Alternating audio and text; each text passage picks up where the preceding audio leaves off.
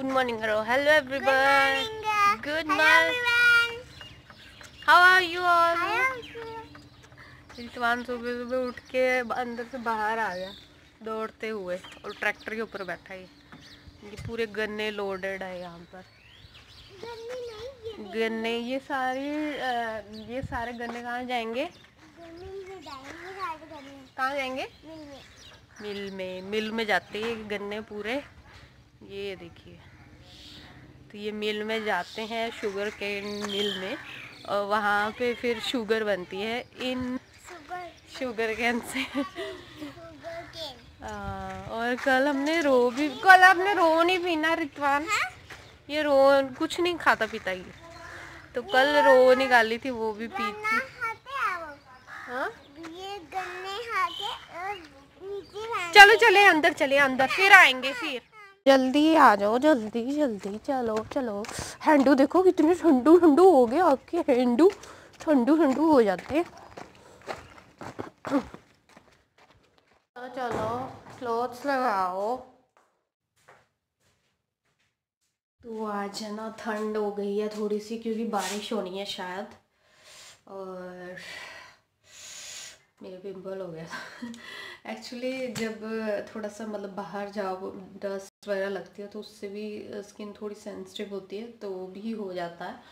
और थोड़ा केयर करना भी ज़रूरी है। एंड एक मंथ में भी हो जाता है बीच बीच में। तो चलिए, आज बनाने जा रहे हैं हम। ये। तो ये है मशरूम ये ना थोड़ा सा कट लग गया था तो मैंने यहाँ पे बैंडेज भी लगाई, लेकिन जब बर्तन साफ़ करो तो वो गीली हो जाती है, फिर निकल जाती है। वाटर प्रूफ वाली भी थी, वो भी थोड़ी सी निकल ही जाती है। तो मैंने ना क्या किया, थोड़ा सा ही था, छोटा सा। इसके ऊपर ने मैंने नील पेंट लगा दिया जैसे कि पानी इसके अंदर ना जाए, और उसके ऊपर से मैंने वाटर प्रूफ वाली, वो बैंडेज लगाई थी, और वो तो निकल गई, ये बच गया है। तो जब भी आपके कट लगे, ऊपर से नेल पेंट लगा लेना, जिससे कि पानी से बचाव रहता है। क्योंकि किचन का काम तो करना होता है, फिर गीला गीला रहता है तो उससे फिर ठीक नहीं होता। ये ड्राई हो गया, अभी निकल जाएगा। बस फिर ये भी ड्राई सूखने के बाद फिर इसको नेल पेंट रिमूवल से भी निकाल सकते हैं जब थोड़े दिन ऐसे रखिए ठीक हो जाता पूरा का पूरा। तो आज हम बनाने जा रहे हैं मशरूम तो ये ऐसे पैकेट में आता है मार्केट में। तो अभी जस्ट इसको मैं रिमूव करके इसको अच्छी तरह वॉश कर लूँगी पहले और उसके बाद इसको कट करूँगी मैं लॉन्ग शेप में और इसकी सब्ज़ी मैं मटर के साथ बनाने जा रही हूँ। मटर मशरूम बनाने जा रही हूँ आज। तो जस्ट ये फ्रिज में रखा हुआ था। तो इसको फ्रिज में रखा था तो अभी जस्ट मैं इसको, मैंने इसको पैकेट ओपन किया और जस्ट अभी मैं इसको वॉश करने लगी हूँ। और अच्छी तरह वॉश करने के बाद मैं इसको कट कर दूँगी और साथ में मैंने मटर यूज़ करना है, मटर मशरूम बनाने लगी हूँ। और ये वाली रेसिपी आपने पहले भी देखी होगी मेरे ब्लॉग में। तो चलिए स्टार्ट तो चलिए स्टार्ट करते हैं। यहाँ पर मैं सबसे पहले इसको कट कर लूँ, फिर दिन में मटर मैंने छील के रखे हुए हैं ऑलरेडी और मटर के साथ मैं इसको बना दूँगी। और ये मतलब बहुत ही अच्छी और बहुत ही फास्ट बनने वाली सब्ज़ी है, जल्दी बनने वाली। तो इसको आप ट्राई कर सकते हैं। अगर आपके पास जल्दी आप बनाना चाहते हैं कोई सब्ज़ी तो आप इसको रख लीजिए। यहाँ पर मसाला रेडी करने के लिए मैंने प्याज और टमाटर लिए हैं।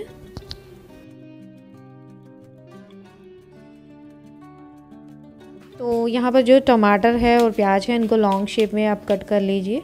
ज़्यादा लॉन्ग में नहीं नॉर्मल आप कट कर सकते हैं अपने, जैसे भी आप चाहते हैं।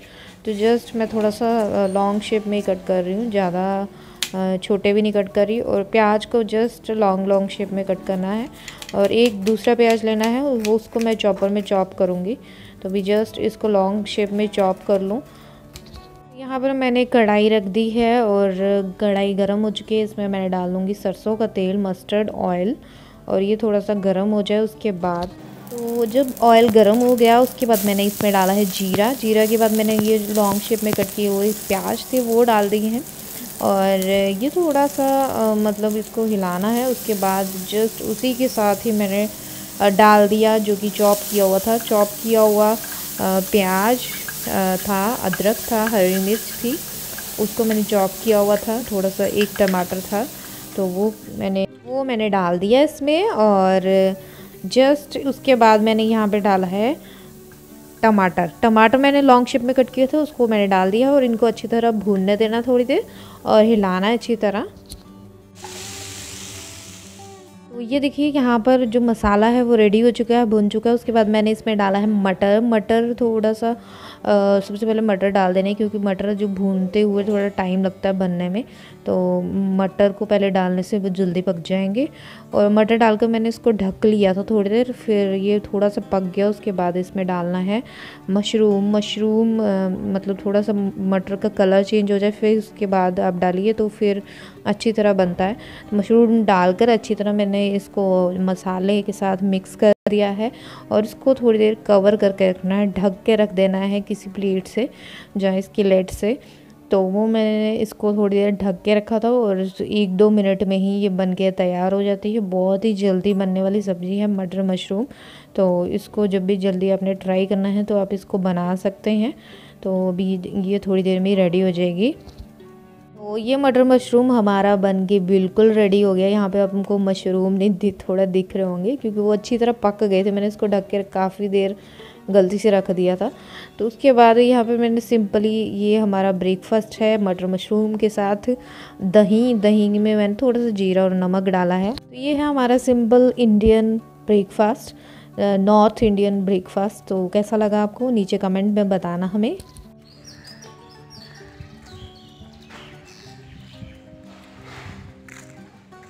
ये बच्चा देखिए, मिट्टी के साथ लगा है। क्या कर रहे हो?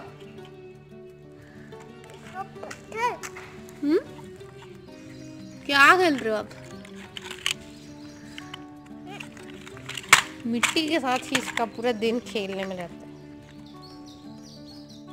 तो अभी जस्ट लंच बनाने लगे हैं। लंच में आज मैं बनाने जा रही हूँ खिचड़ी।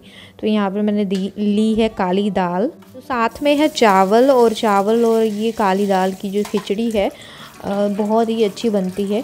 तो इन दोनों को पहले अच्छी तरह धो लेना है वॉश कर लेना है तो वही मैं वॉश कर ली कर रही हूँ।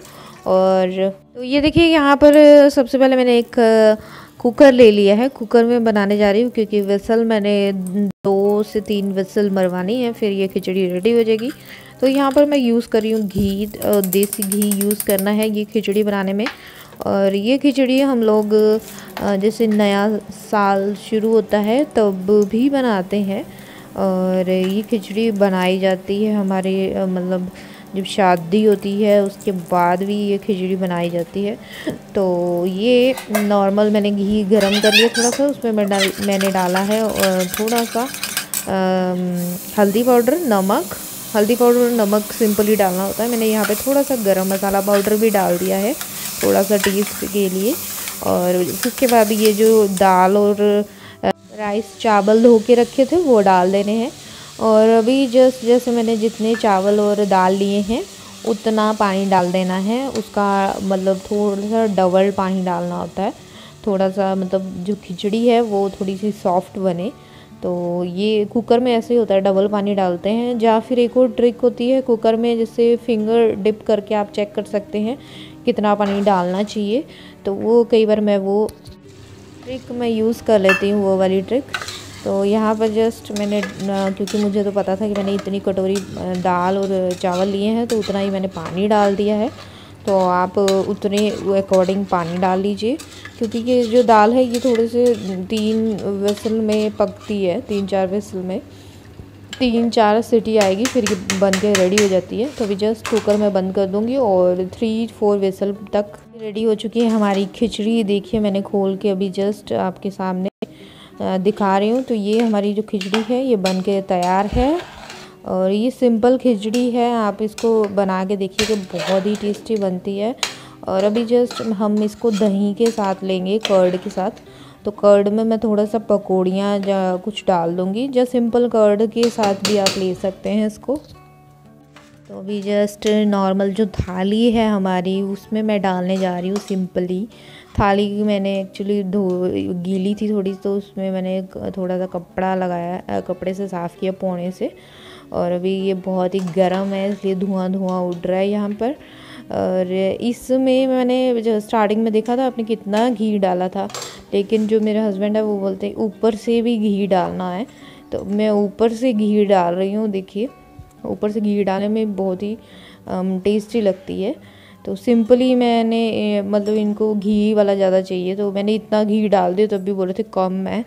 इतना सारा घी डाला, देखिए। आपके सामने ही यहाँ पर मैंने इनको बोला था कर्ड की ली हुई, लेकिन इन्होंने मना कर दिया। मैंने लिया था।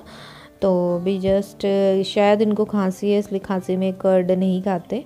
तो यहाँ पर मैंने नींबू का अचार रखा है साथ में। और ये हमारा लंच है। होप आपको अच्छा लगा हो। अगर अच्छा लगा लाइक शेयर ज़रूर कर दीजिए कमेंट कर दीजिए। तो चलिए मिलते हैं नेक्स्ट ब्लॉग में। तब तक के लिए बाय बाय टेक केयर